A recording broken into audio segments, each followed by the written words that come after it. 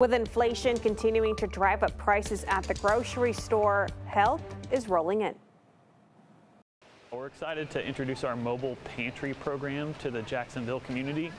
Beginning tomorrow, the East Texas Food Bank's mobile pantry will be making a monthly visit to the city of Jacksonville. Every second Tuesday of the month from 4 p.m. to 5.30 p.m., the pantry will host a drive-through distribution of produce in the parking lot of the John Alexander Gym. There are no IDs or questions being asked. Anybody who shows up is able to get help.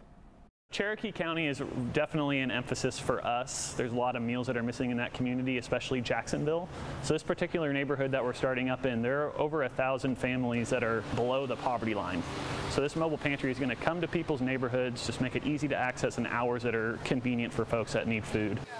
The food bank has over 25 locations where they distribute food through the mobile pantry each month. If you'd like to find a food resource in your community, you can go to East Texas Food Bank's website, click on Find Food, and put in your zip code.